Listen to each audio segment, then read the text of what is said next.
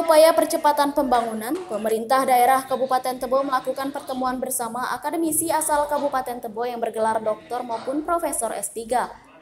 Pada Sabtu malam bertempat di ruang VIP Rumah Dinas Bupati Tebo. Hadir dalam pertemuan tersebut Bupati Tebo, Wakil Bupati, unsur Forkopimda, Kepala UPD dan perwakilan dari komunitas Tebo Top.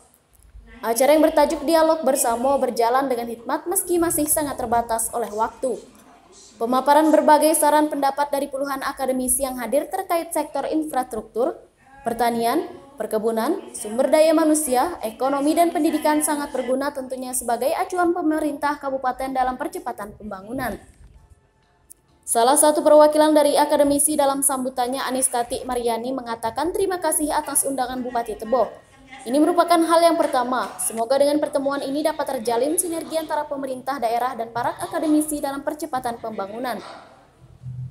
Bupati Tebo Sukandar dalam sambutannya mengucapkan terima kasih atas kesediaan para akademisi memenuhi undangan dan berharap pemikiran daripada akademisi tersebut dapat diimplementasikan para kepala OPDA dan menjadi acuan dalam penyusunan rencana tata ruang wilayah atau RT, RW di tahun 2020 mendatang.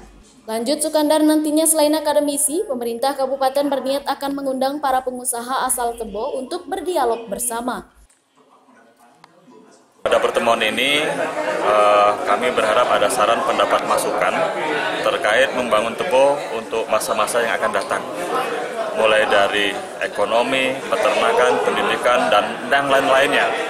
Dari pertemuan ini nanti kami akan tindak lanjuti pada kepala OPD, tolong disimpulkan kalau ada yang bisa dikerjasamakan, kita akan kerjasamakan dalam bentuk uh, action nanti di lapangan atau nanti cukup diprogramkan di OPD masing-masing yang membidangi.